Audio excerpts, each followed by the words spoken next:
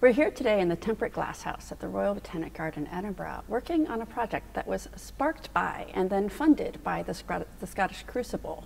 The title is Harvesting Collections for Social and Scientific Benefit, Hidden Stories at the Herbarium of RBGE.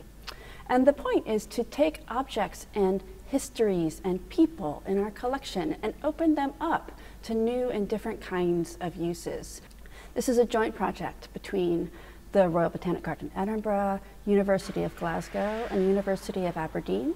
And we're using master's courses in both in the University of Glasgow and Aberdeen to draw out these experiences and to bring out the stories that are hidden in our collections.